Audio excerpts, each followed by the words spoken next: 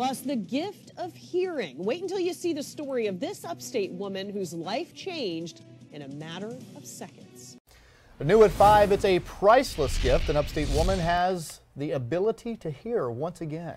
Anna Bridgeman has dealt with hearing loss since the third grade, and sadly, she recently lost her hearing aids at work and she couldn't afford to replace them.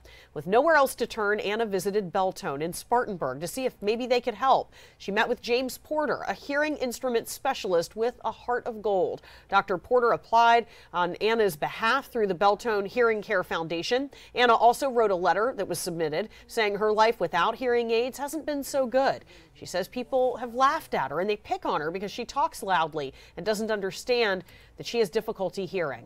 Today, Anna's prayers were answered. We were there as she got fitted with her brand new hearing aids. It means a lot and goes a long way with the, like I said, the quality of all of our lives. So it, to be in the position to be able to help people out like this, it's absolutely amazing. I'm looking forward to be able to hear a whole lot better and not have to say huh all the time and I'm looking forward to more blessings I know God's going to bless me with.